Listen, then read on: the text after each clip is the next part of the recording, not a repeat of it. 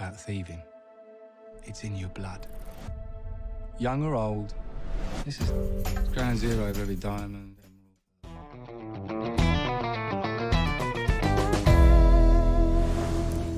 Halo guys, selamat malam semuanya. Semoga kalian sehat selalu dan juga semoga kalian dalam keadaan bahagia. Di malam ini kita akan membawakan sebuah cerita lagi, yaitu cerita kisah nyata tentang pencurian bersejarah yang dilakukan oleh sekumpulan mantan pencuri yang sudah tua. Mereka ini mengincar berangkas di sebuah pusat industri perhiasan di London bernama Hatton Garden. Berbekal sokongan dari mafia Hungaria, mereka berhasil menyusup ke dalam Hatton Garden hingga masuk ke dalam berangkas di dalamnya. Perampokan ini menjadi perampokan terbesar dalam sejarah London. Biar nggak panjang lebar lagi, langsung aja guys, pasang headsetnya, jauhi tempat ramai, dengarkan baik-baik dan ini dia cerita The Hatton Garden Job 2017. Emas dan berlian merupakan hal terbaik untuk mengukur kekayaan seseorang di dunia. Hal ini dikarenakan harga kedua benda tersebut sangat mahal dan tak semua orang bisa membelinya. Ketika orang biasa menginginkan kedua benda tersebut, ada dua hal yang bisa mereka lakukan. Pertama, mereka bisa bekerja keras, dan kedua, mereka tinggal mencurinya dari para orang kaya. Pilihan kedua adalah hal yang dipilih oleh seseorang yang sebut saja namanya Alex dan rekannya yang bernama Judas Jack. Mereka tak mencuri di bank seperti pencurian model lama dan lebih memilih mencuri dari berangkas para bankir. Sayangnya aksi mereka ini segera ketahuan oleh polisi karena Jack sembarangan menjual hasil curiannya.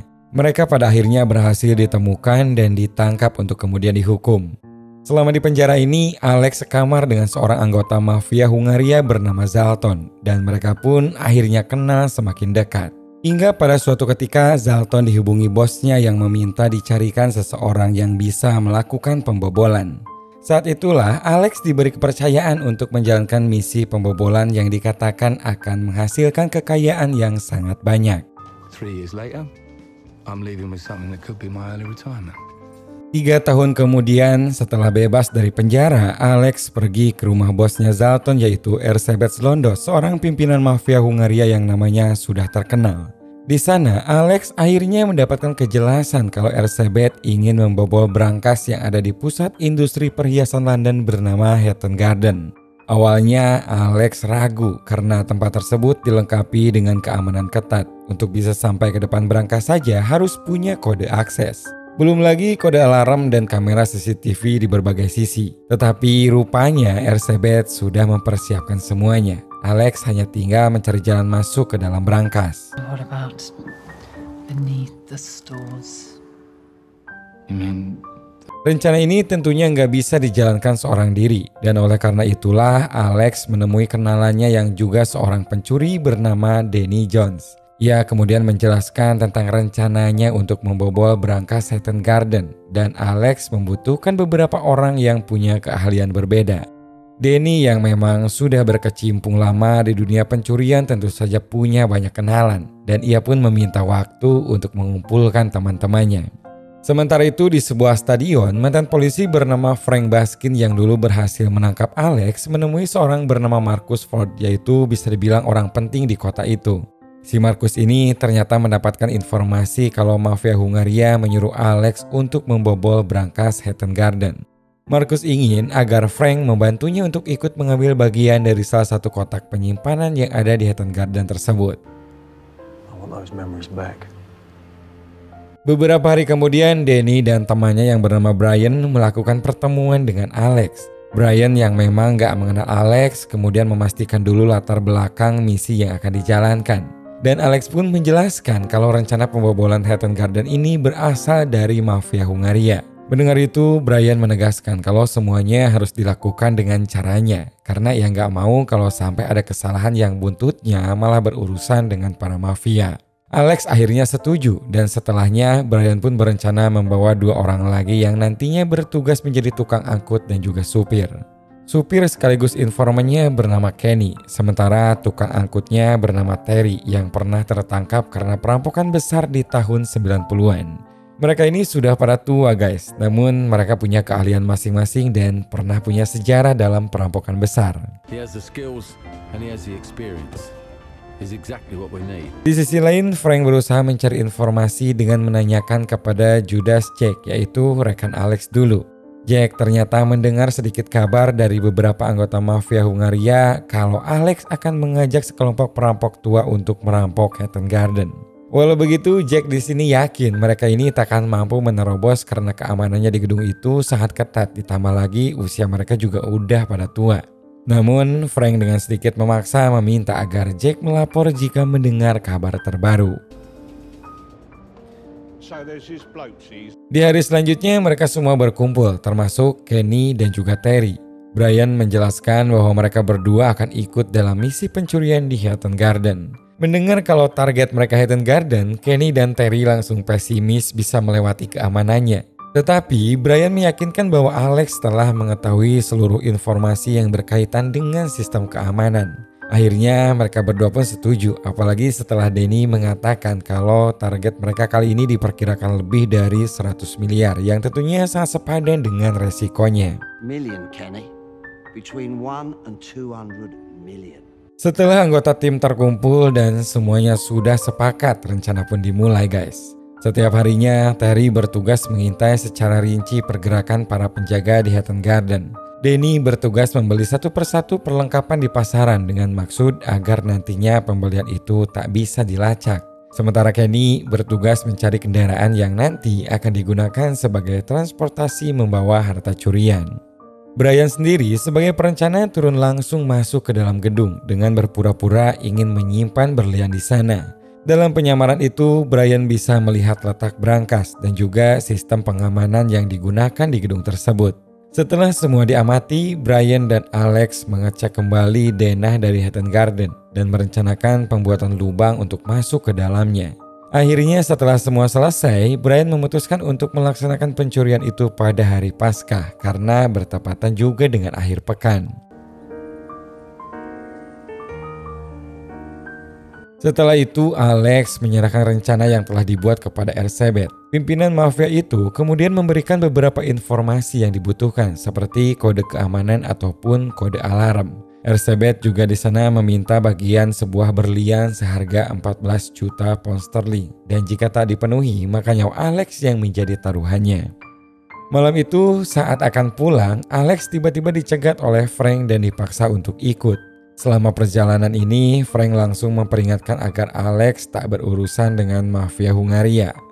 Alex pun langsung menyadari bahwa Frank sudah mengetahui rencana pencurian yang akan terjadi, dan ia pun sempat takut kalau rencana ini akan gagal. Frank kemudian menjelaskan kalau ia takkan mengganggu rencananya asal ia juga mendapat bagian dari perampokan tersebut. Tak sampai di situ saja, esoknya Alex didatangi oleh Elizabeth yang menyampaikan bahwa ia tak suka jika Frank ikut campur dalam urusannya. Rupanya kejadian tadi malam diketahui oleh Elizabeth dan ia menyangka kalau Alex dan Frank berteman. Alex kemudian membela diri dengan mengatakan yang sebenarnya kalau Frank adalah mantan polisi yang pernah memenjarakannya dulu. Walau begitu, Elizabeth tetap kecewa dan ia ingin Alex menyerahkan hasil curian pada hari Paskah dan tidak menerima penundaan. Dan setelah lama menunggu, tibalah hari eksekusi. Alex mulai beraksi dengan menggunakan pakaian pekerja perbaikan jalan lalu pergi ke Hatton Garden untuk menutupi CCTV dengan pilok hitam. Kemudian ia pun menunggu teman-temannya mendekatkan mobil dan di saat yang bersamaan Alex pun mendapat SMS dari Frank yang meminta Alex mengambil kotak nomor 175. Mereka semua masuk melalui pintu samping dengan hati-hati dan merusak seluruh CCTV yang ada. Kemudian Alex masuk ke ruang keamanan untuk mematikan sistem alarm dengan memasukkan kode yang sudah didapatkan dari Elizabeth. Setelah berhasil dimatikan, Terry dan Denny pun masuk sambil membawa beberapa tempat sampah yang berisi peralatan. Sementara itu, Kenny menunggu di bagian luar sambil memeriksa keadaan dan siap melaporkan jika ada sesuatu yang mencurigakan. Denny dan Alex turun lebih dulu ke ruangan bawah melewati jalur lift. Setelah berhasil, mereka kemudian langsung memotong jeruji yang menghalangi ke ruangan berangkas. Tak lama kemudian Terry dan Brian menyusul dan kini hanya tinggal satu pintu saja yang membatasi mereka dengan ruangan tempat seluruh berlian mahal itu disimpan. Untuk masuk ke dalam berangkas raksasa tersebut mereka menggunakan bor besar yang sudah dirakit sedemikian rupa. Dengan perlahan mereka bergantian memegang bor itu sampai kira-kira satu jam setengah dinding itu ternyata belum juga berhasil ditembus sementara Terry tampak mulai kelelahan. Di tengah pengerjaan itu, Terry merasa ingin buang air kecil guys. Sehingga ia pergi ke toilet dan ditemani oleh Alex yang memberi petunjuk arah tempat toilet berada. Namun saat menunggu Terry keluar, Alex menemukan hal yang janggal dan langsung menghubungi Frank. Ia menjelaskan bahwa alarm yang sudah dimatikan ternyata masih memancarkan sedikit sinyal dan meminta tolong pada Frank untuk mengecek apakah mereka ketahuan atau belum. Sayangnya, Frank juga tidak bisa membantu karena alarm tersebut tidak terhubung dengan kepolisian, melainkan dengan perusahaan keamanan swasta. Alex yang panik memutuskan akan membatalkan misi, tetapi Frank menuntutnya untuk melanjutkan misi karena menginginkan kotak pesanannya. Ia mengancam akan menelpon rekan polisinya jika Alex berani mundur. Panggilan itu ternyata terdengar oleh Terry dan menganggap kalau Alex membocorkan perampokan mereka kepada polisi. Karena tak ingin merusak rencana, akhirnya Alex mengaku kalau ia barusan menelpon kenalannya seorang mantan polisi karena ada satu alarm yang tiba-tiba aktif. Alex pun menambahkan kalau semuanya masih tetap aman karena ia sudah menjaminkan satu kotak penyimpanan kepada teman polisinya.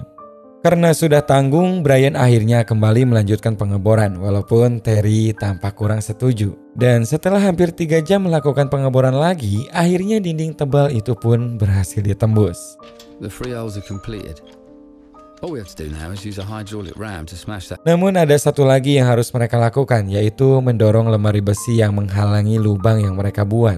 Lemari besi itu harus didorong dengan hidrolik karena dipakukan ke dalam beton di sisi atas dan bawahnya. Nah, saat mempersiapkan peralatan hidrolik itulah Brian tiba-tiba pingsan karena sepertinya ia kelelahan. Belum lagi masalah datang di bagian kabel yang ternyata juga rusak. Tidak ada pilihan lain akhirnya Alex terpaksa membatalkan misi tersebut dan segera memanggil Kenny untuk menjemput di pintu samping. Ketika sampai di dalam mobil, Kenny menanyakan apa yang telah terjadi. Namun dengan kecewa, Alex hanya menjawab agar Kenny segera melajukan mobilnya untuk segera pergi dari sana. Alex di sini benar-benar di kondisi yang tak bisa berbuat apa-apa. Ia sadar kini urusannya akan menjadi rumit dengan para mafia. Belum lagi saat itu Frank menanyakan kotaknya dan ia pun mengancam jika kotaknya tak segera diberikan dalam waktu 24 jam maka seluruh teman-temannya akan dilaporkan. Tekanan demi tekanan Alex rasakan saat itu dan sayangnya ia tak bisa berbuat apa-apa untuk merubah keadaan tersebut. Sore harinya Alex tiba-tiba dikagetkan oleh kedatangan Denny, Terry, dan Kenny. Mereka datang untuk menyampaikan pesan kalau Brian saat ini kondisinya sedang lemah dan tak sanggup lagi untuk melanjutkan misi. Di sini Alex pun pesimis karena ia yakin para polisi sudah mengetahui aksi mereka. Namun Kenny membantah karena ternyata tadi siang ia sempat lewat ke Hatton Garden dan tidak ada satupun orang di sana. Ya dengan kata lain aksi mereka ini belum diketahui oleh siapa pun. Denny juga ternyata sudah membeli kabel baru untuk mengganti kabel hidrolik yang rusak kemarin.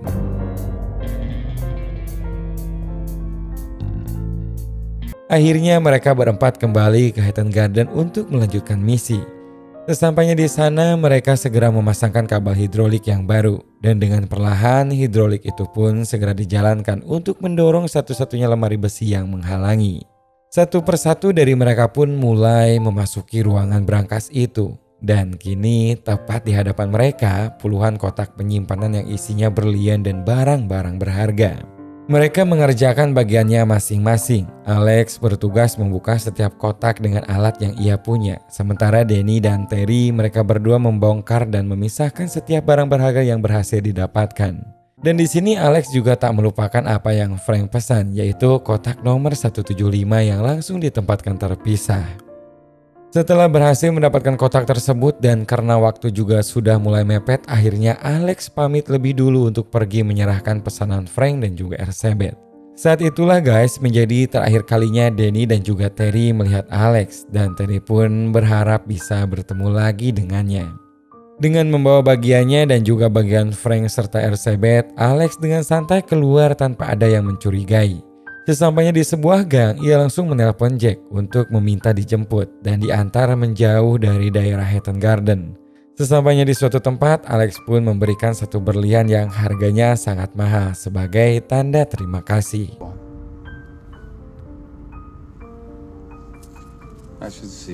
Ketika di markas dan menghitung bagiannya, Frank tiba-tiba datang dan menodongkan senjata. Bukan hanya meminta kotak pesanannya, tapi juga ia meminta lebih banyak karena saat itu ia tertarik melihat hasil rampokan yang sangat banyak.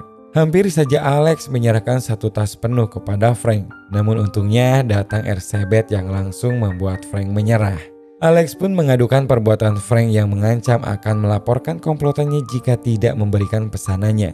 Beruntung kekuatan Ersebet jauh lebih besar daripada Frank sehingga ia pun tak berkutik ketika Ersebet lebih membela Alex. Setelah mendapatkan apa yang diinginkan, Ersebet pun pergi dan Frank hanya bisa mengambil kotak pesanannya tanpa tambahan apa pun. Ia juga berjanji untuk tidak melaporkan perbuatan Alex dan komplotannya. Isi kotak yang Frank bawa langsung diberikan kepada Markus. Dan sampai saat ini tidak ada satupun informasi yang menjelaskan isi kotak tersebut guys. Sementara itu Alex langsung kabur keluar London dan menikmati hasil curiannya dengan bebas. Sementara Terry, Danny, Brian, dan Kenny juga menikmati hasil curian mereka dengan caranya masing-masing. Namun sayangnya hal itu tak bertahan lama karena enam minggu kemudian polisi berhasil mengetahui pelaku pembobolan berangkas Hatton Garden. Semua itu karena kecerobohan Kenny yang menggunakan mobil pribadinya saat mengecek kondisi di Hatton Garden sebelum mereka melakukan pencurian di malam kedua. Satu persatu orang yang terlibat pun ditangkap dan masing-masing dijatuhi hukuman 6 tahun penjara. Dan Jack pun ditangkap karena ia ketahuan mendapatkan bagian dari berlian curian. Sementara itu, Alex tak berhasil ditangkap karena semua orang tak pernah tahu nama aslinya sehingga mereka pun tak bisa memberikan data apa pun ketika diinterogasi.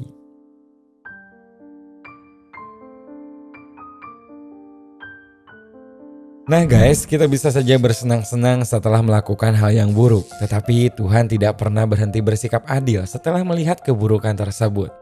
Buah karma dari perilaku buruk bisa datang kapan saja, bahkan ketika kita merasa takkan pernah ketahuan. Seseorang bisa saja mengelabui CCTV dan saksi, tetapi Tuhan tidak perlu melihat CCTV dalam mengetahui apa yang telah dikerjakan ciptaannya. Semoga cerita kali ini bisa menghibur kalian guys dan juga bisa sedikit ya menambah wawasan tentang kejadian nyata yang pernah terjadi di luaran sana. Terima kasih banyak dan sampai jumpa lagi di video 7 menit selanjutnya.